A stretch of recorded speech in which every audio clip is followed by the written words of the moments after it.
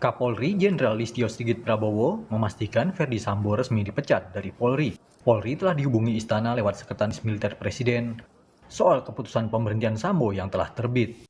Dengan kepres Presiden Jokowi ini, Kapolri menekankan Sambo sudah bukan lagi anggota Polri.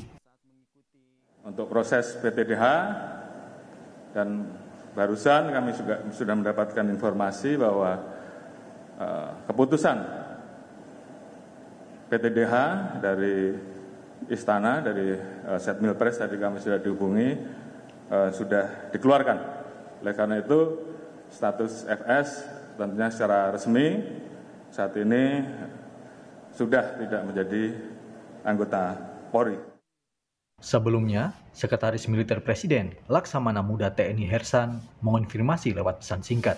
Dalam keterangannya, disebut Presiden Jokowi telah menandatangani keputusan Presiden pemberhentian tidak hormat Sambo sebagai anggota Polri. Kepres ditandatangani pada 26 September lalu. Wakil Presiden Ma'ruf Amin di Sidoarjo, Jawa Timur juga meminta sidang Ferdi Sambo dipercepat. Hal ini agar masyarakat tidak bertanya-tanya mengapa kasus ini berlarut-larut. Karena memang masyarakat kan menunggu ya, ya supaya dipercepat saja, ya supaya supaya dipercepat sidangannya disiapkan, jangan sampai terlalu lama. Masyarakat kapan itu lama sekali. Mereka itu sudah sudah semua siap, segera saja disidang. Kejaksaan Agung menyatakan berkas perkara lima tersangka kasus pembunuhan Yosua telah lengkap.